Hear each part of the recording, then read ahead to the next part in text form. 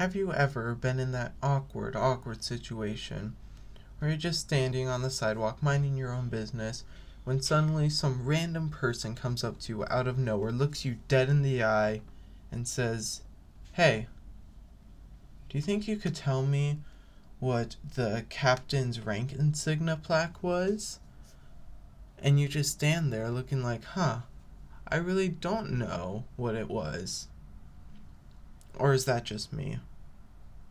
Well, if whether or not you've been in that situation, I think you can learn something from today's episode of Star Wars Nerds and Geeks. So first, what are imperial officers? Well, they are the people in charge of the army. There's a tier list of officers going from the very highest officer, the Grand Admiral, going super low down to midshipman and sometimes even lower. But all officers had a certain degree of power and they uh, had control over certain parts of uh, the Imperial Army.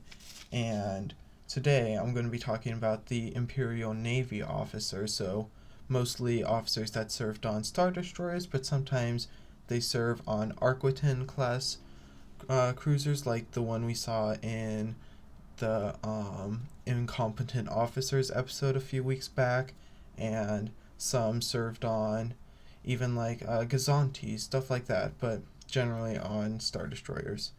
Uh, but without any further ado, let's hop straight into the first one. Let's start off with the category of the enlisted officers and the non commissioned officers, or NCOs and these officers are all on the lowest end of the totem pole. So first, right here, you can see uh, what a junior crewman would wear on their chest. And if I haven't explained this already, uh, what I'm talking about is the kind of plaque that they wore on the top left of their chest that you see all officers wear.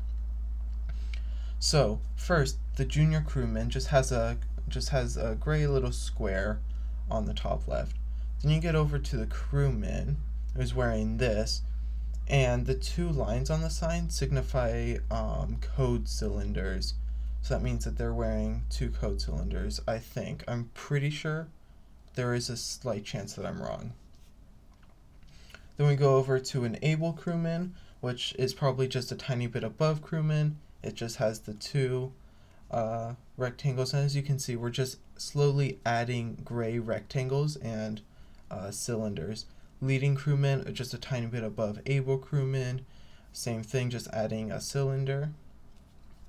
Then here we have the chief, which again is kind of low on the totem pole, but uh, is the highest of all these people, just like a square of squares almost. Move over to the master chief, just a tiny bit above that, they get an extra cylinder. And by the way, this is all um, looking at directly at the officers. Um, the plaque would be like directly on the officers. So when you're looking at the like cylinders, you'll see that the cylinders are say on the right of the side, and it would be on the right when you're looking at it, but it would actually be on the left side of the officers. Moving on, we finally get some colors we got the officer cadet, which is just like uh, officer in practice. Then we get the midshipman with the red and the two lines, and then the ensign with the red and blue with the two cylinders, and those are just, again, just kind of higher ranks. Moving on to the officers, these are the people that you are going to see the most. They are like the average officers. First, lowest down, we have our acting sub lieutenant, and lieutenants are all um, they're kind of like a they're in charge of a small group of people.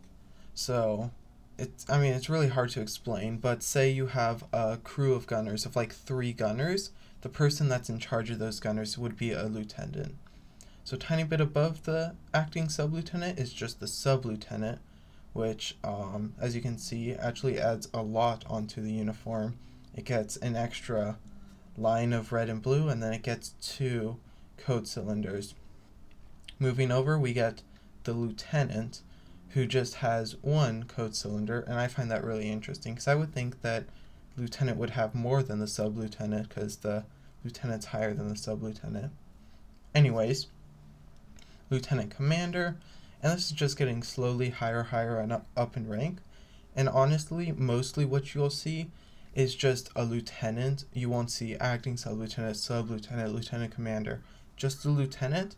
The other ranks are just to distinguish between two different lieutenants to see who has the higher rank. Moving right on to commander, and I don't know if you can see from these pictures, but the um, uh, this the colored squares actually get further sometimes will be farther apart and sometimes will be really squashed together. That's another way that can help you see who it is. Um, then down to the captain. The captain is kind of like the person who controls the ship. Generally the captain is the person who is in charge unless uh, us an admiral is on the ship but in most cases the captain's in control in control of the ship. I almost said control and uh, in charge at the same time. Concharge. Um, then we get the line captain, who has a total of four code cylinders, the most code cylinders that we've seen. Then over to the commodore, who is kind of like the captain, but just a tiny bit different. I think that the commodore is a little lower rank. And let me just butt in here to say that the code cylinders are like secret um, to are codes that decrypt the mess are mostly used to like decrypt codes. So the more code cylinders you have, the more access to codes you get. So the lower ranked people won't have that many code cylinders, and then the higher ranked people will have a lot of really important code cylinders. And now we get to go to the command officers. Not every ship has a command officer. A lot of them, the highest rank is just the captain. Uh, it's kind of rare, in my opinion, to see a command officer. But like really important ships, like uh, the flagship, like the Chimera was the flagship of Thrawn, so you're gonna see Thrawn on that. But most other ships are just gonna have a captain. But anyways, we get to the rear admiral, and you can start seeing in the they have a lot of um, squares. The rear admiral has um, just four of each color, four red and four blue, and then just one code cylinder. And I want to say it's interesting that some have, like the rear admiral is higher up than a lieutenant, but they have the same amount of code cylinders. If I had to guess, I would say that the rear admiral has like a higher quality, like a um, it decrypts more important codes than the lieutenants would. Moving down to the vice admiral, we get a whole nother row of red and blue. And the vice admiral, I suppose you could say, is like the vice president uh, admiral. Then we get down to the admiral, who actually has less code cylinders than the vice admiral, which is also very, very interesting. Um, and the admirals, actually everybody in this rank is an admiral. Admiral is like the highest rank you can get in a uh, navy in uh, the empire. The only way you could get higher than an admiral is by adding something in front of the admiral. We go over to fleet admiral, who has three code cylinders, and the fleet uh, admiral is probably higher up than the admiral, and the admiral's higher up than the vice admiral, and the vice admiral's higher up than the rear admiral. But again, they're all just admirals, and the only reason you would distinguish between them is if there are multiple competing admirals.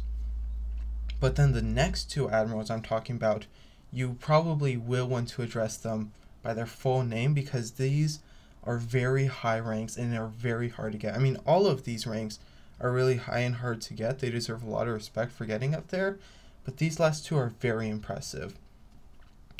We have the High Admiral, who has is not high. He sorry, he has two code cylinders, and this is the first time we are seeing a spark of yellow.